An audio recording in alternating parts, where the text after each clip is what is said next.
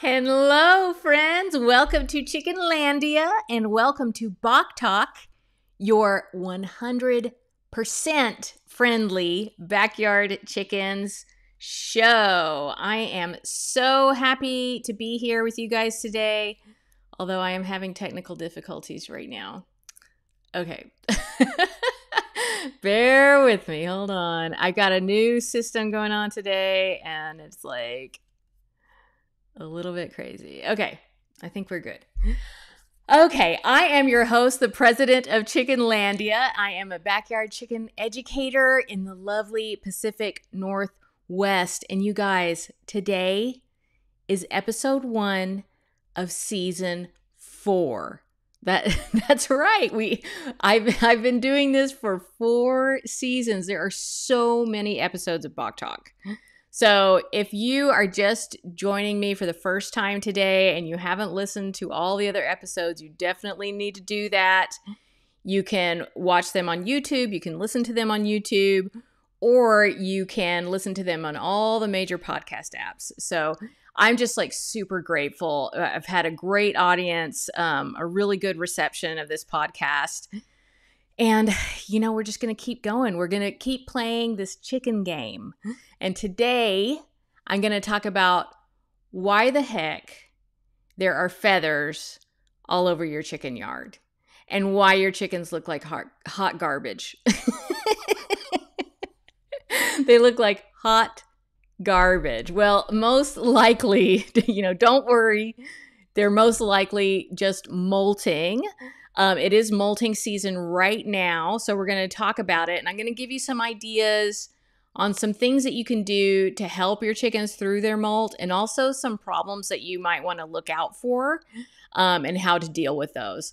So, and I do have um, one listener question that I'm going to go over and then I will open up the chat for questions here on YouTube. So, um, if you want to submit a question to Pop, Bok, let me do that again.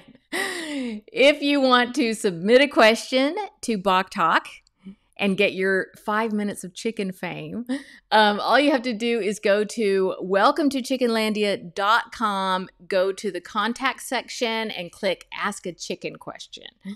And while you're there, you are definitely going to want to join my mailing list. It is called uh, Chickenlandia Nation. It is the most awesome chicken mailing list in the multiverse. um, and I don't spam, I don't send out a lot of emails, but uh, you will get like all the really important news first. And um, I do give everybody that joins a mailing list a discount for my online course. It's called Chickenlandia's Backyard Chickens 101, a chicken course for everyone. And that's my super fun interactive course is for beginners and intermediate intermediate chicken people. Um, it's a great way to get direct access to me. I know a lot of people like I just I get so many questions and so many emails and I get a ton of messages on Instagram and stuff and I just can't answer every question or else that would be like all I did. I can't. I can't. So, but if you are within the course, you do get direct access to me and also my um, co-instructor, the Chickenlandia presidential advisor, who's very knowledgeable. Um, and and that's because you can ask questions within the course. So anyway, it's a great course. I'm super proud of it, and I hope to see you there. Okay, um, I am going to say hi to some people in the chat. Ooh, Chickenlandia president presidential advisor is here today. Yay! Uh, Teresa, hello. Catherine is here. Duval, City Girl Gardner, hello.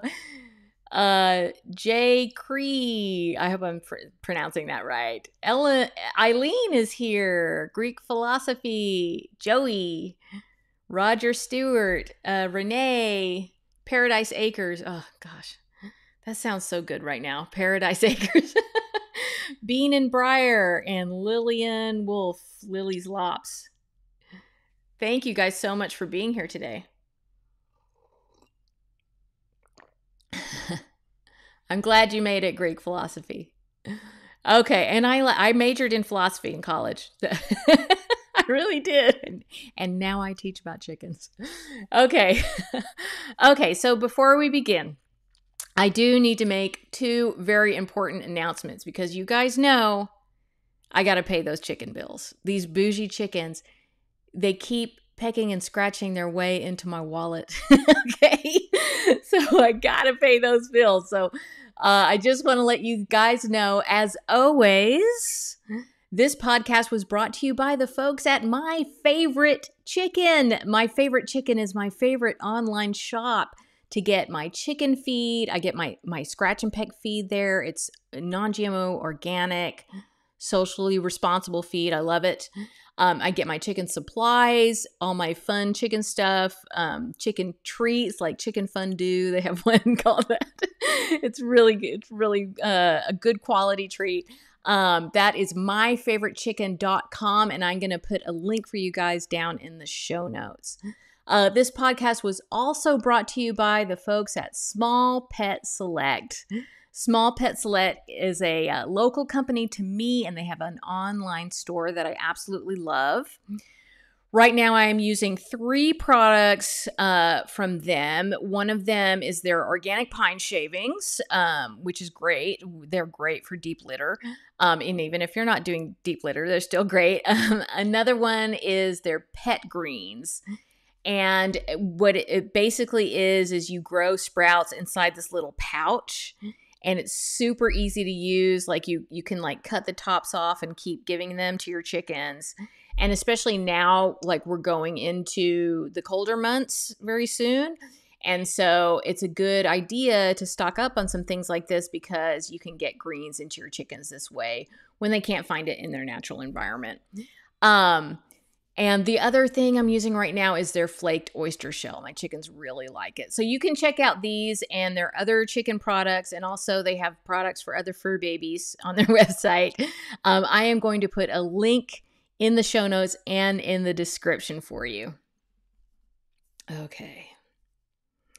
All right.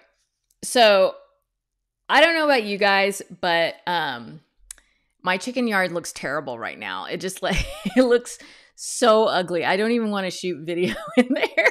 like I tell tell my editor like, "Can you use the the footage from another time because there there's just like these dirty, scraggly feathers all over the ground and it's always like the white ones, like the really dirty white feathers, they're all over the ground. And almost all of my chickens look super scraggly.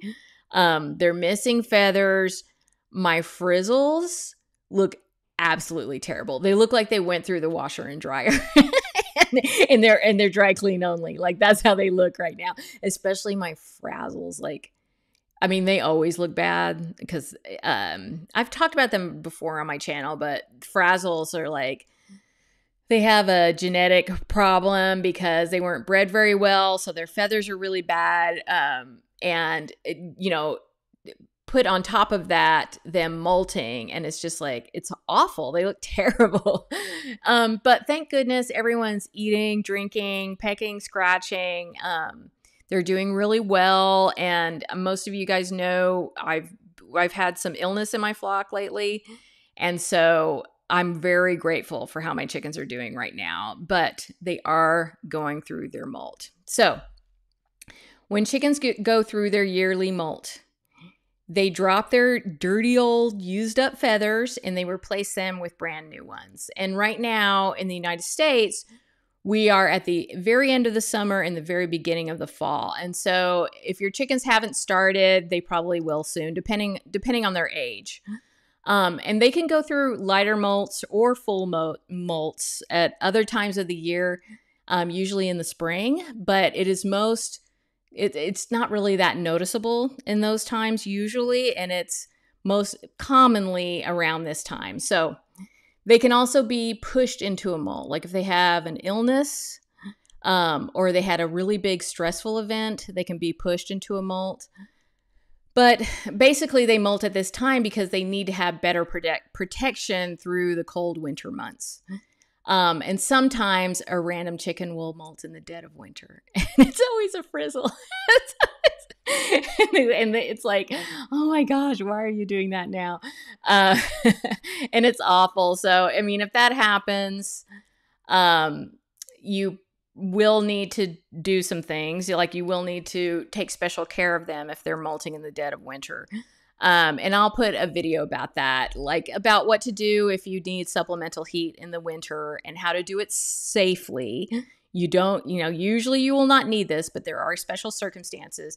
I'll put a link about that in the show notes. Okay, I'm gonna get a drink. Not, it's not a real drink. it's, it's apple cider vinegar. I could use a drink right now, though. All right. So, uh, chickens go through actually many molts um, from the time that they're babies until they become adults. So, um, and this is why sometimes people get alarmed because their teenage chickens look really bad, like they have missing feathers, and but it's probably just that they're going through a juvenile molt, and you know, very soon you'll see them start to look better. Um, of course, you should check to make sure that they don't have anything going on like parasites or bullying or feather picking, because sometimes those kinds of behaviors can happen when they're juveniles. That's when they're they will rear their ugly heads. So make sure there's nothing like that going on.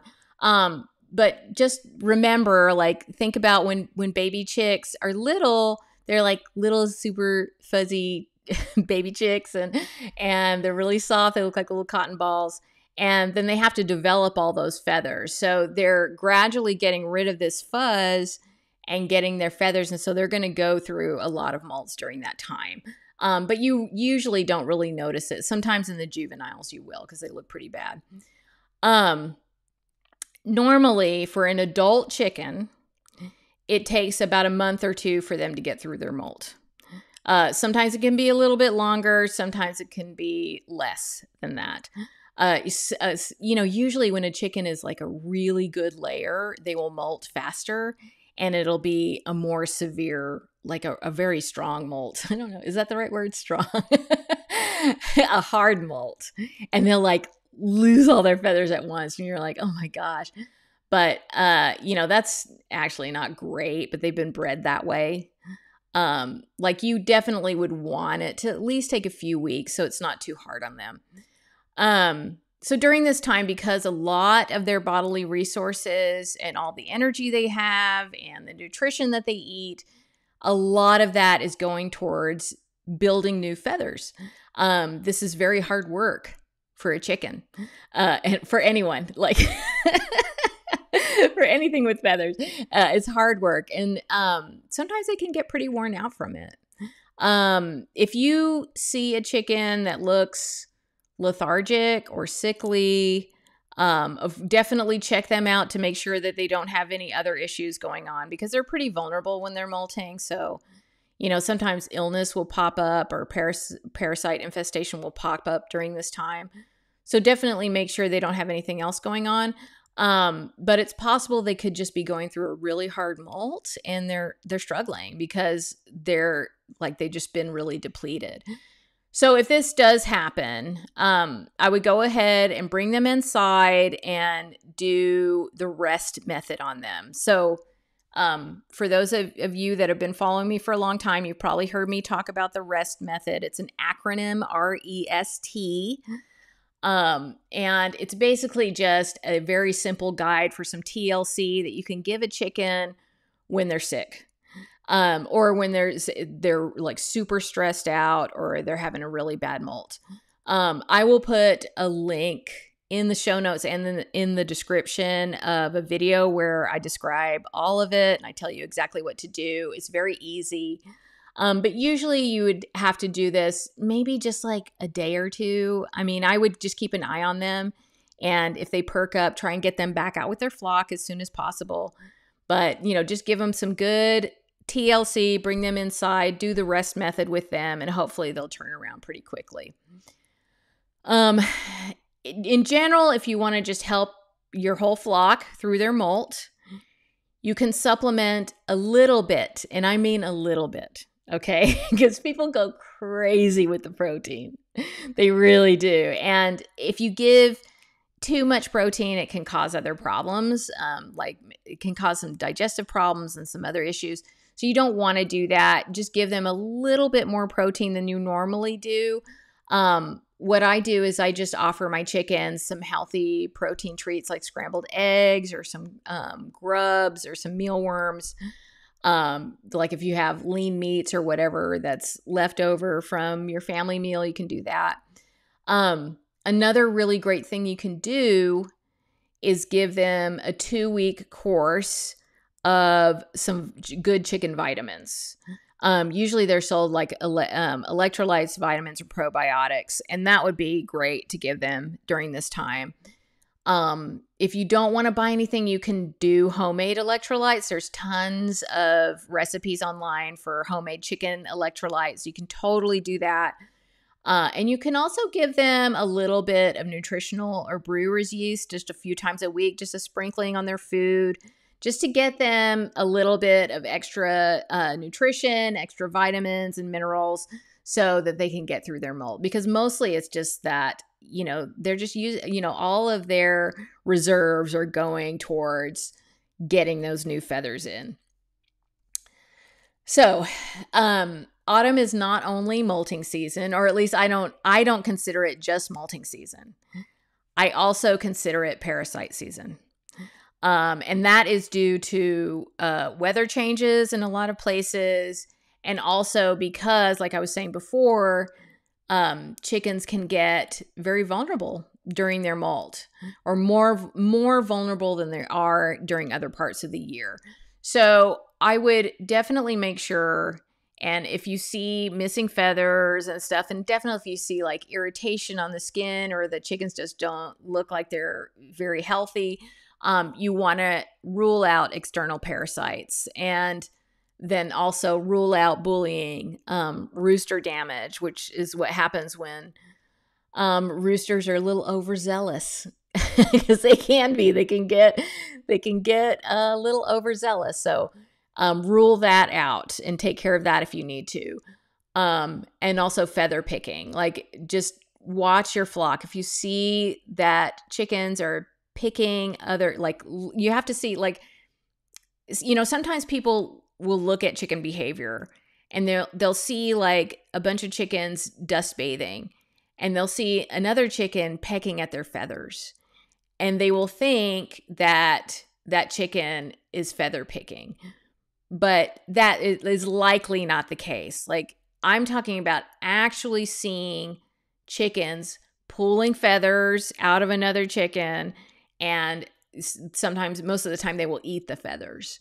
Okay? So um that's what I'm talking about. Not just like pecking, you know, if they're taking a dust bath, they will peck at each other's feathers and stuff and and usually that's nothing to be alarmed about. Um but it's just this is just a time when you really want to keep an extra eye on them um, and you may also want to be extra diligent about uh, the nutrition that you're giving them of course and then also just you know if you're doing some immune boosting stuff like maybe you're giving them um, oregano and thyme which we've talked about before on this channel um, you can you know make sure that you're being diligent about that or you can buy them like a good uh, pre-packaged herbal supplement. Scratch and Peck has one called clucking good herbs um, and that has oregano and thyme in it and plus a lot of other herbs that's that are good for them. So um, if you don't do that any other time of the year right now is a good time to do that um, and then you can give them some rescue remedy in their water too. And rescue remedy is a flower essence. Um, it's from Bach Flower Remedies. They make one for um, for animals that you can use, and you just put a couple of drops of it in their water, and it just helps to kind of calm them down and get them through this season, which can be a little more stressful for them than other times of the year.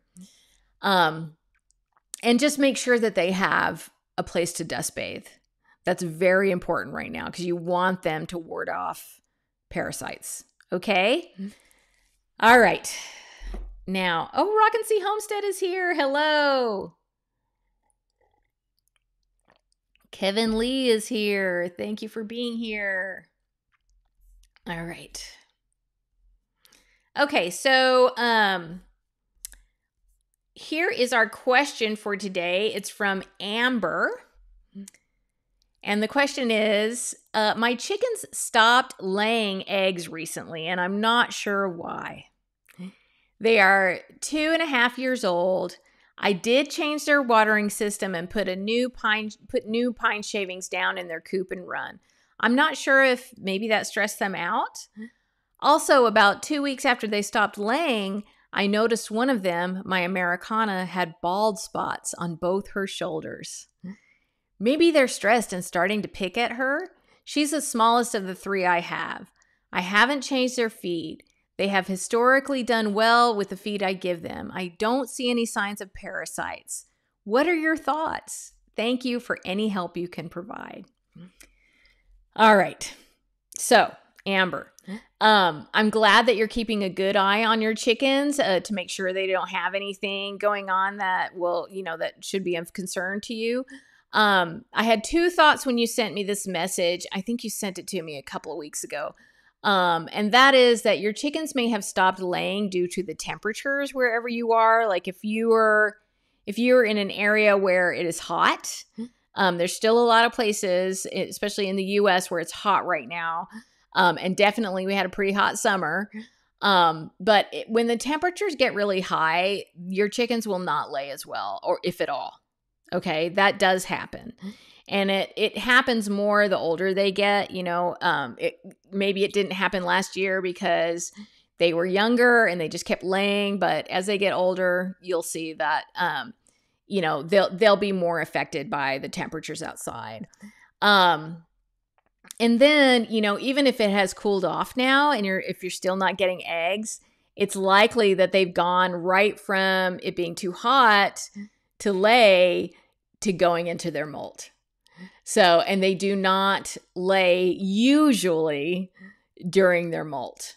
Okay. Um, especially since you said your America Americana is starting to lose feathers. That to me, I thought, okay, they're they're likely molting, especially since it sounds like you've ruled everything out. So, um, you know, I said that uh chickens when chickens are molting, that they're working really, really hard. So all their resources are just going to their new feathers. And, um, you know, some of them will continue to lay because they've been bred just to lay, lay, and lay, but that's actually not very healthy for them. So it's good for them to, to stop laying when they're molting. Um, if they continue to lay, you know, don't worry about it. You know, during their molt, if they continue to lay, um, it, it is harder on them, but I wouldn't worry about it too much because honestly, there's not really much you can do about it. Like you could take some really drastic measures, but I wouldn't do that. Um, I would just give them some extra nutrition and like we talked about earlier in the podcast and and you know if they're happy and they're picking and scratching and they seem healthy i would say that's a win. Okay? And don't worry your the eggs will come back soon. They will start laying soon. Okay? And then winter will come but that's another story. We're going to be talking about that. Uh, I'm putting out actually putting out a video on Wednesday about all the things you should be doing right now before winter starts. Because, you know, I mean, just, I swear, time goes by so fast. Like, I feel like summer just started and now we're going into fall. So, there are some chores that you should be doing right now before we get into winter, before it turns into a frozen wasteland. if that's if you live in a place like that um, and even if you don't i think it's going to be a good video um, for people to to to watch right now um, so they can get all these chicken chores out of the way before winter starts. So amber thank you so much for your question. I really appreciate it and i hope that was helpful to you. So i am going to open up the chat for questions. Uh, if you would please post your question in all caps so that I can see it with these um, soon to be 48 year old eyes. I still I might go like this still. uh yeah, definitely like write it in all caps. Almost Homestead says it feels like winter up here. It's coming fast. Um it was like 39 degrees last night and I was like, I, you know, dislike, dislike. I don't like the winter. okay, so Shauna asks the question My roosters are 22 weeks old. They have become mean. Does this get any better as they age? So I try not to think of it. I totally get it. Like I've got, you know, if you watch my channel, you know I have Philippe and he tries to kill me every day. uh, it's funny because he's little, but when they're big roosters, it's not so funny. Like it's a it's a problem. Um, you know, usually their first season is the worst. That does not mean that they will completely grow out of it, uh, and and they may never they may never be better. It, it just it just depends, but a lot of times they're the most rude during that first year of their life. So hopefully, you know, when they pass their first spring, they'll calm down a little bit. Um, that's a possibility. I would try and pick them up as much as you can, walk around with them as much as you can. Um, another thing you can do is just when you walk into your coop, you have like a, a broom or something with you and it's not to hit your chicken. Like don't do that. Don't we don't we don't talk about hitting chickens in chickenlandia. But what you can do is use it to kind of direct him away from you so that he doesn't have you know so that your roosters don't have a chance to attack you. Um, it's a bummer when that happens. Um, this is why i say you definitely want to have a plan for roosters and i know hindsight's 2020 so i totally get it but um you want to try and have a plan for extra roosters um either decide how you will deal with them humanely or um you know somewhere where you can rehome them. But you know the good thing is is that we have all these online resources now. You may be able to go online to like a local facebook group and find a great home for them um, if you want to go that route. But uh, if not, just the best thing for you to do if you want to keep them is just to prevent them from attacking you and and go in to the coop confident with a uh, you know a, a broom a big stick walk confidently and carry a big stick Uh, Catherine R asked, "Does molting cause soft eggs or no eggs? It can be. It could be both. Like they could lay a couple of soft eggs.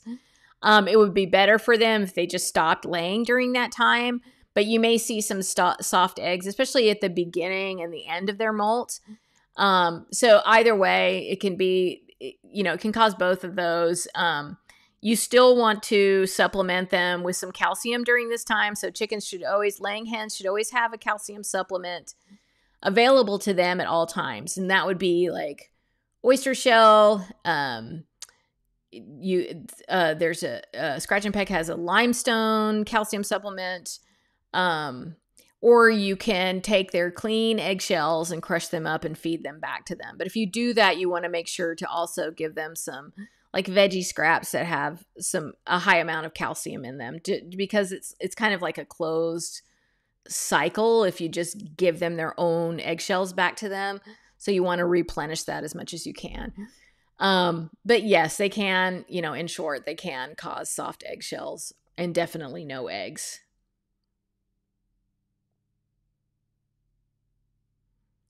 Um at what age is the norm to start to start molting?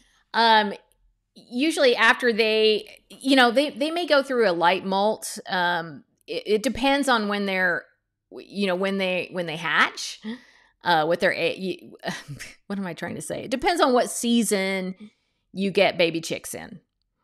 Okay but usually their first spring uh, obviously they're going to be babies so they're going to be they're going to be having their little molts during that time and then they might have like an off season molt in the fall um and then in the springtime you will you will i mean not in the springtime.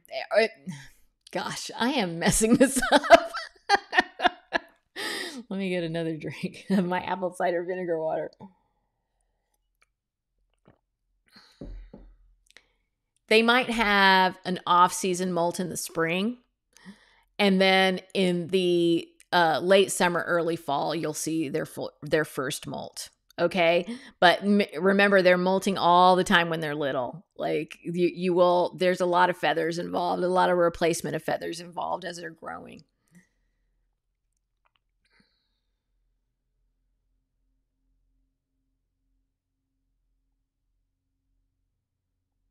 Sorry, I'm just looking. I'm just scrolling down.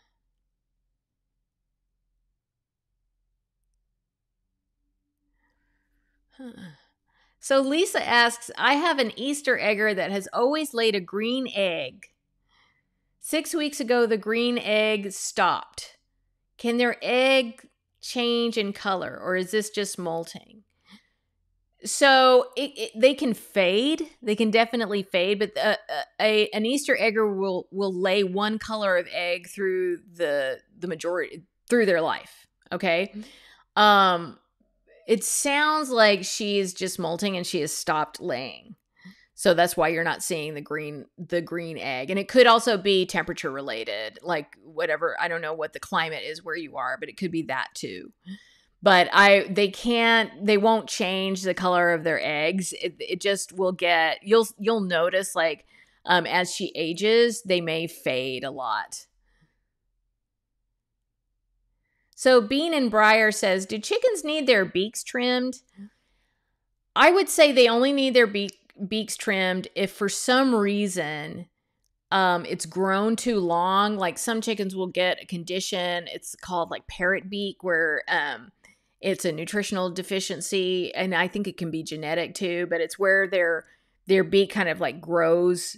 It's got like a really big hook on it, you know, at the at the front um, and that may need to be, um, you know, shaved down a little bit, filed down a little bit, or trimmed. Um, if you have a chicken with scissor beak, then you may need to trim it. But in general, chickens' beaks should not need to be trimmed. Um, if they're if they have access to the ground where they can peck and scratch, then the those actions should allow them to keep their their beaks nice and and filed down. Um, sometimes chickens on wire will end up with a beak that's too long just because they're not able to practice their their instincts um, you know so that their bodies do what it's supposed to do and everything stays normal now if you buy uh pullets grown eh, like 12 week old chickens from a hatchery. They may send them to you with their beaks trimmed. And this is something that they do because when chickens are in confined places, uh, there can be problems with pecking because they don't have anything to do. Like they're they're overcrowded and they're bored, and that's when bad habits start. Um, so they they may peck each other, they may hurt each other, and so in order to fix that, uh, factory farms will trim the beaks of the chickens. Like, like basically, their their beak is very short. Um, but this is not the case for anyone that's watching my channel. you know, you're giving your chickens enough room. You're giving them ground to pick and scratch on. Um, you know, they have things to do. They have enrichment they have a good life so they you don't need to trim their beaks unless they have some kind of condition going on where it needs to be trimmed. Okay.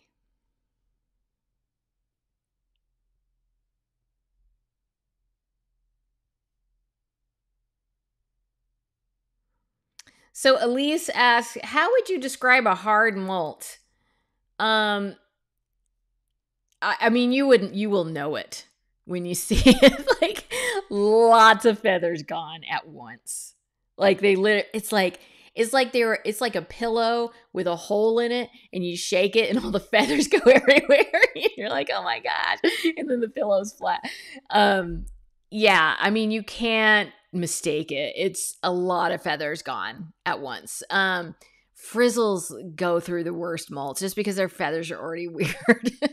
um, and then, like I said, real good layers sometimes will go through really hard molts. And certainly, if they look like they're struggling through it, like I would call that, I would call that a hard molt. But usually, it's characterized by just losing a lot of feathers at once.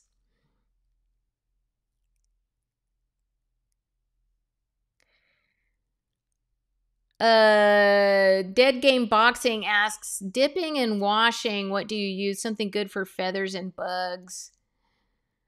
Um, I don't dip. I, you know, if I if I use um something for parasites, like if I have an active parasite infestation, I don't really dip them in the whatever I'm using because um, to me, I think that can be a tad dangerous for them. Like they, they just get too much of the substance on on them. Um, and that's if I'm using something like permethrin, which would be the most uh, synthetic thing that I would put on them. Um, it's you know it's kind of like it's not natural, but it is a, a synthetic version of like a chrysanth. Chrysanth. Oh my gosh, I can't say that word. It's a flower and it starts with a ch. but I I can't say it right now. It's just not going to happen. Okay, that uh, permethrin. Um, yeah, it's it's it's the it's not completely natural, but that is what I use. Um, and I would put that in a spray bottle and spray it on them so that I can control really how much exposure they get. I just don't I just don't feel comfortable exposing their exposing their whole body.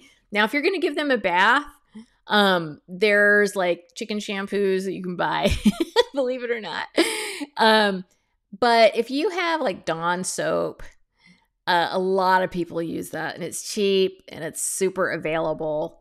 Uh, you can put a little bit of it in some water and get some warm water and just uh, bathe them in that. Um, and that actually will kill bugs too, because a lot of these animals, like they, these tiny critters, like um, the soap, uh, whatever is in the soap will kill them. Okay, but I wouldn't. It won't. Like I, if the, if you have an active infestation, I was I would use another product in addition to giving them a bath. Okay, I hope that helps. Anna Rodriguez says chickens are so cute and sassy. they, sure, are. All right, I'm gonna do one more question, guys. I know there's lots of questions. Uh, Val said, "Okay, Chris, chrysanthemum, chrysanthemum." I told you it's not gonna happen. it's not gonna happen. All right, one more question, and I might, I might be out of questions actually.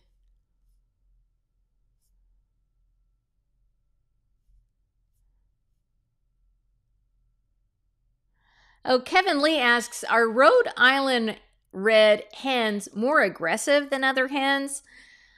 Uh, not necessarily. Um, I they don't. You know, these are Rhode Island Reds are are really bred to go into people's backyards. Um, you know, if you buy them from a hatchery, they're they're usually bred to be just uh nice birds. You know, easy birds to take care of. They're very popular. It could be that you have a batch of them that is cranky, you know, for whatever reason, um, whatever their genetics are, you know, they're just um, more aggressive. But in general, I wouldn't I wouldn't generalize them that way. I'll say it that way.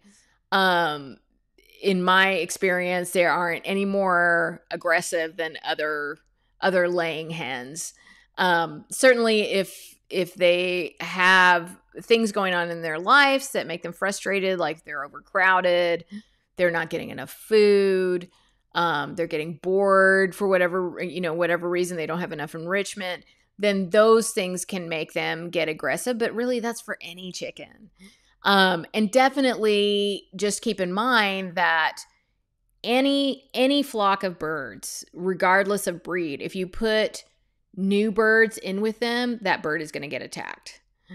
So there is a process that you have to follow in order to integrate that bird slowly into your flock. That bird or birds, you're you you should try and integrate more than one bird at a time because it's such a it's a difficult process for both the new birds and your existing flock. It's a it's a stressful process. I'm not saying don't do it, but it is it is stressful for them because they have that pecking order instinct and it's really strong. So it doesn't matter at that point what kind of birds you have. They're going to attack any newcomers. And so you have to do it slowly. And I'll put a link in the description um, to a and in the show notes to a video that I made about integrating new chickens into an existing flock. It's easy, um, but it is something that you have to be mindful about because they will get mean.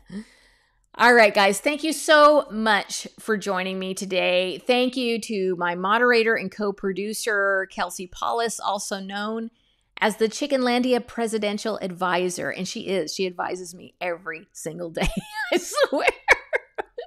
when I when I need help, I call her. Uh, thank you to Talking to Crows for editing this episode and to Double M Ranch for their wonderful podcast art.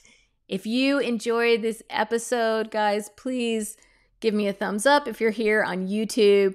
If you are listening on, you know, in podcast form, uh, please rate and review this uh, this podcast. It really helps. It really does. It it it puts my podcast in front of more people's eyes when it has more positive reviews and more ratings. It just it really helps me out. So I do appreciate that.